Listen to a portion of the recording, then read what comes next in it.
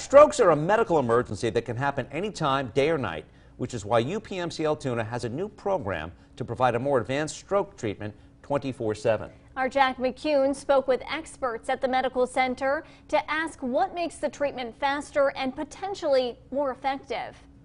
UPMC Altoona has offered an advanced stroke surgery for four years, but now the medical center becomes one in a few hundred in the country that can offer it 24 7 after its new certification. That's doubled the amount of procedures being done. Over the last year, I was I was doing one or two of these thrombectomy procedures a week. Uh, in the last two weeks, I did eight of them. It's called mechanical thrombectomy.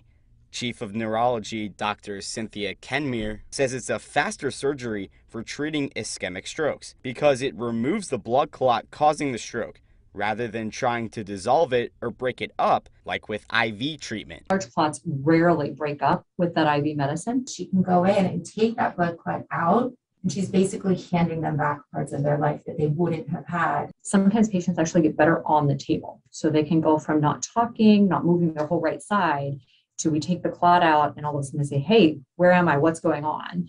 Uh, and they start moving around. We kind of reassure them they're in the hospital, everything's going to be okay. Kenmuir says, like any other type of brain surgery, there are potential risks like internal bleeding. So if the patient's symptoms go away after IV treatment, she doesn't recommend the procedure. However, if, if a patient still has symptoms, it's probably worth the risk of going in there because they are going to have this permanent disability. You lose about 2 million neurons, 2 million brain cells every single minute in a stroke. And she says the most important thing to do to treating stroke is recognizing the signs and going to a hospital immediately. I'm Jack McCune for WTAJ News.